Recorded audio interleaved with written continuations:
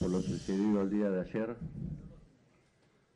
porque Boca es una institución que tiene 110 años de historia y ayer ha quedado una imagen en el mundo de algo que trabajamos para que en el fútbol venga la familia, para que estos clásicos sean una fiesta y que realmente siempre hay inadaptados para pensar bien que puedan cometer un acto que no tiene calificación, un acto delictivo, y que eso pueda hacer que se suspenda un partido tan importante que como comenzó como el hincha de boca, una fiesta, que sabíamos que comenzábamos los primeros 90 minutos en una desventaja, pero que teníamos el marco ideal jugando nuestra cancha y poder revertir ese resultado, que alguien premeditadamente, intencionalmente, pueda arrojar algún líquido que afecte a los jugadores del equipo rival. La verdad, como dije, me llena de angustia, de dolor, no solamente por la imagen del club que tengo el honor de representar, sino por la imagen del fútbol argentino que hoy se está hablando en todas las regiones. Decirles que desde el club se ha cumplido con todo el protocolo de seguridad. Y se ha puesto 200 seguridades más de lo que dice el protocolo, que a partir de, por pedido de Boca Juniors, antes de dar apertura al estadio, se solicitó, servicio que el club también paga, la brigada de explosivos de perros se recorrió todo el estadio, las oficinas, y se dio apertura temprano, un poquito más de las 17 horas, para que el hincha de Boca, al salir de su trabajo, vaya llegando, como lo fue, tranquilo, llenando todos los sectores, y que realmente se ha hecho un esfuerzo, pero parece que nunca alcanza, tanto desde la Secretaría de Seguridad como la Policía Federal, como la Seguridad Privada, como el personal del club. Siempre hay fallas. Hoy no es lo importante delindar responsabilidades. Yo no vengo a delindar responsabilidades. Boca es el club que organiza el partido. Lo que sí me parece que en el fútbol vamos a tener que replantearnos muchas cosas, porque también solidariamente se suspendió la fecha del fin de semana, pero tampoco nos sentamos a hablar si vamos a seguir jugando en esos estadios que nos dan las condiciones de seguridad. Así que lo hice en forma privada en el día de ayer, en el día de hoy a la mañana con el presidente de River y le pedí disculpas y primero preocuparme por la parte humana, cómo estaban sus jugadores porque me parece que lo que corresponde. El mensaje de Boca, el mensaje que tratamos de dar los presidentes, es que esto tiene que ser una fiesta, es un juego, un fútbol, pero que también se habla mucho durante 15 días del Boca, de River, de que es un partido, de que pareciera que fuera una batalla, que el que pierde es el peor, que el que gana es el mejor. Y eso va cargando de emociones. Y a veces cometemos errores, los dirigentes, cuerpos técnicos, jugadores, empleados, hinchas. Entonces hay que trabajar, y cuando digo trabajar, es la principal, los dirigentes de fútbol, después las autoridades, tanto nacionales judiciales para ver qué es lo que hay que hacer para terminar con estos episodios. Y vuelvo a repetir, el hincha de Boca hubo casi 49 mil personas. Estuvimos en el estadio al 98% y por un sistema de seguridad se pararon de entrar porque la verdad que Boca generalmente los estadios llegan al 94, 95. Ayer tuvimos el 98% y no hubo incidentes. Y nos parece muy raro que en el entretiempo, cuando el partido estaba 0 a 0 y nos quedaban 45 minutos por jugar, que, que haya algún hincha de boca que quiera perjudicar al club, porque si teníamos algún posible marco de revertirlo con la confianza que veníamos y en el marco de jugar en nuestra cancha y con nuestra cancha llena y con el aliento de los hinchas, era poder jugar los 45 minutos. Pero hay gente que sabe que con estas cosas se suspende el partido y que seguramente Boca va a tener alguna sanción. Así que solamente quería transmitirle eso. Están trabajando los funcionarios judiciales, se hicieron las pericias, tanto de la justicia ordinaria como la Fiscalía de la Ciudad de Buenos Aires. Se ha clausurado la bombonera preventivamente como los vestuarios. Se han hecho las pericias hasta tres y media de la mañana que yo me quedé hasta que se vaya y hasta que se pudiera ir la gente de River en condiciones de seguridad.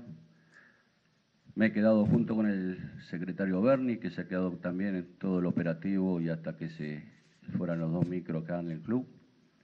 Y ahora esperar que entre todos, nosotros ya estamos trabajando con los videos, con los socios de ese sector, para poder identificar rápidamente y poder dar una sanción ejemplificadora, pero también poder saber el motivo de cuál una persona arroje un líquido que haga daño a jugadores que son seres humanos y que se pueda llegar a suspender el partido. Vamos a ser respetuosos de la decisión de la Comebol. Hay un reglamento, el reglamento indica que Boca Juniors tiene que elevar el informe de lo sucedido antes del día de mañana, 14 horas. Vamos a trabajar con el cuerpo de legales. Esperemos antes de mañana, 14 horas, poder tener de la policía científica algunos datos más precisos de la pericia, porque se ha hablado mucho de gas pimienta, de esto, y a prima fase no es gas pimienta, pero sí es un líquido tóxico. Pero vamos a esperar que los funcionarios judiciales que están trabajando no den las especificaciones, se terminen las pericias. Boca Juniors se presenta en el día de hoy como querellante también en la causa porque la queremos impulsar, queremos ir hasta el fondo. Y, la verdad que no, no mucho más. Sabemos que de todo el día se está hablando de este tema. No sabemos cuál va a ser la decisión de la Comebol Sí vamos a cumplir con el reglamento y vamos a hacerle llegar todo el material que tenemos antes de las 14 horas del día. Yo digo que esto lo, lo tenemos que solucionar entre todos porque el club es de todos los socios. También esperamos que aquellos socios que puedan aportar datos, fotos, hoy con los teléfonos, eh, lo hagan llegar rápidamente al club y entre todos, porque si alguien ve en un sector que un socio, un hincha, va a cometer algo que perjudica al club, deberíamos involucrarnos un poco más y poder pararlo a tiempo. No, mira, estoy cansado hoy porque estoy prácticamente sin dormir, porque me angustia bastante, porque tratamos de hacer lo mejor para el club y nunca alcanza. Y, la vergüenza de que no podamos organizar un espectáculo o poder salir de las redes, de los medios, hasta no saber las pericias o por comentarios si fue de afuera, si fue de adentro, si fue un policía y cada uno tratar de, de, sacarse la responsabilidad. Yo no me quiero sacar ninguna responsabilidad, soy el presidente de Boca Juniors. Pero también estoy convencido que la gran mayoría de los socios, de los hinchas, de los plateístas, vienen a ver el equipo y alentar al equipo. Y estamos orgullosos de la gente que tenemos. Como también estoy convencido que esto no fue un problema de barras. Eh, esto fue en un sector inesperado, inesperado porque nadie se puede imaginar que pueda haber eh, uno o dos inadaptados que puedan cometer este hecho que haga que el club se perjudique. De una u otra manera, cualquiera fuera la sanción, quedamos perjudicados. Y el partido era ayer, el marco era ayer y lo teníamos que revertir dentro de la cancha de juego. A ver. No, mira, siento tristeza y la verdad no me pongo a, pensar ni a especular. No, no quiero hacer especulaciones, quiero terminar de ver las pericias, quiero que determinen los científicos qué líquido fue, desde dónde se arrojó, cómo. Lo que sí me parece extraño, y yo sé que el hincha, y esto es pasión, y a lo mejor no hay mucha racionalidad. Yo tengo la responsabilidad de tratar de ser racional, pero cualquier hincha de Boca quería terminar el partido.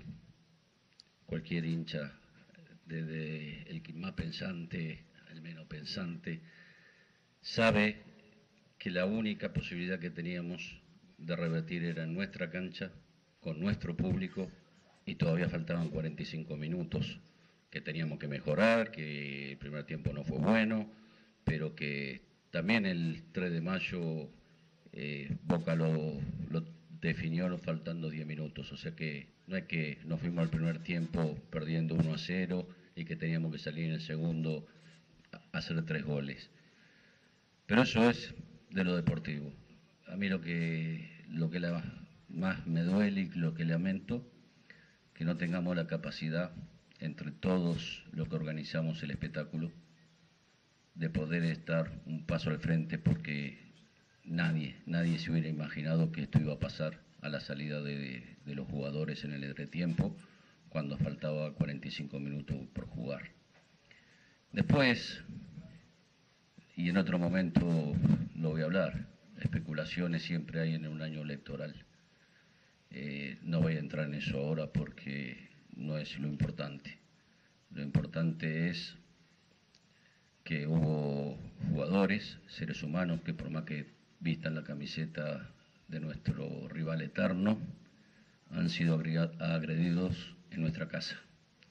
Y esa es la responsabilidad que tenemos. Y cuando digo tenemos, es todo. No solamente el club organiza, sino la seguridad privada, los empleados, la policía, la secretaría, y todos han hecho un esfuerzo para que esto saliera bien. Pero no salió bien. Entonces, si hoy está diciendo quién es más responsable que otro, tampoco me parece lo importante. Sí lo importante, y esta vez vamos a tratar de ir a fondo, por eso nos vamos a presentar como querellante, queremos saber cómo sucedió, cómo entró, si estaba en el club, si vino de afuera, porque en algún momento, si se ponemos todos a trabajar, como nosotros tenemos ya los empleados del sistema, viendo todos los socios y ya tenemos listado de todos los socios que entraron, y tenemos la filmación de la puerta por donde se entra ese sector y se están viendo imagen por imagen, por vestimenta, también lo está haciendo la justicia y la fiscalía. Entre todos deberíamos, y eso es lo que no debemos, dar una respuesta rápida. Yo creo que son más los socios que realmente sienten la boca y que no son los violentos. Por eso le pido al verdadero socio que estaba en ese sector que todo lo que nos pueda aportar, aunque sea anónimamente, nos haga llegar al club porque nosotros lo vamos a aportar a la justicia rápidamente. Y cuando digo presentarnos como querellantes, porque queremos ser parte activa de este expediente porque queremos que se resuelva rápido, está el prestigio del club. Y, nada de esto sirve si no quedamos en palabras y no podamos garantizar para que vengan las familias. Ninguna acción que hicimos para poder hacer los hijos socios, para que vengan con los padres y hoy cada vez tienen más miedo de venir a una cancha porque no saben con qué se va a encontrar. Y eso es una responsabilidad también de la dirigencia y de las normativas que hay que cumplir. Y, la verdad que a veces uno se siente que, que trabaja que no alcanza, a veces piensa que, que esto no tiene solución. Y yo quiero pensar que sí que tiene solución, pero la solución tiene que venir de todos y empezando también por los socios, porque si vos tenés a alguien al lado que veis que va a tirar una botella, le tenés que decir, no, pará loco, esto es boca, y eso es la cultura. Y en la semana tenemos que aprender los dirigentes, los jugadores, todo, que es un clásico y que es lindo jugarlo y ganarlo, pero hay que empezar a bajar los decibeles, porque crea una adrenalina aparte de todos estos partidos pero tenemos que ir la responsabilidad. Yo lo primero que hice fue ir al vestuario para ver cómo estaba la gente de, River. Después tratar de juntarme con la gente de seguridad para ver cuál iba a ser el procedimiento, la evacuación, que eso también me preocupaba porque había 40.000 personas dentro del estadio y no quería que haya un problema evacuando a la gente. Pero también una vez que terminemos con el hecho este principal, que fue lo que hizo suspender el partido, vamos a revisar todas las cámaras de aquellos plateístas que arrojaban botellas a los jugadores. Y vamos a, sancionar sin ninguna duda a todos, a todo aquello que encontramos que creemos que no le hace bien al club. Y te vuelvo a repetir, la responsabilidad principal la tengo yo, soy el presidente del club, no me escapo a esa responsabilidad. Creemos que cumplimos con todo el protocolo que había que haber cumplido y hemos agregado 200 personas más en lugares sensibles que conocemos el estadio. Igual fallamos, el partido se suspendió, con lo cual tenemos que seguir viendo y reflexionando qué podemos seguir haciendo para que esa violencia desaparezca y para que cada vez venga el verdadero hincha, el que venga a alentar y aplaudir al equipo. Cualquier decisión que tome el tribunal va a ser compleja y polémica porque si toma la decisión que se juegue los 45 minutos en nuestro estadio a puerta cerrada, pareciera que hay impunidad, que cualquiera puede venir a un estadio y cometer un hecho de violencia. Si se suspende el partido y le dan los puntos ganados y pasar a la fase, quedamos con un antecedente de rehenes que cualquiera entonces va a cualquier estadio, se cuelga el alambrado, tira una bengala, lo que fuera y se suspende y terminar ganando entonces los partidos en un escritorio. O sea que cualquiera de las dos decisiones a mí me parece que mañana o cuando la tome el Tribunal de Disciplina de la Conmebol va a ser difícil. Va a haber que pensar y lo único que pide Boca, lo más, equitativo y equilibrado. Ni queremos quedar rehenes con los violentos, ni tampoco esto puede quedar como un hecho de impunidad.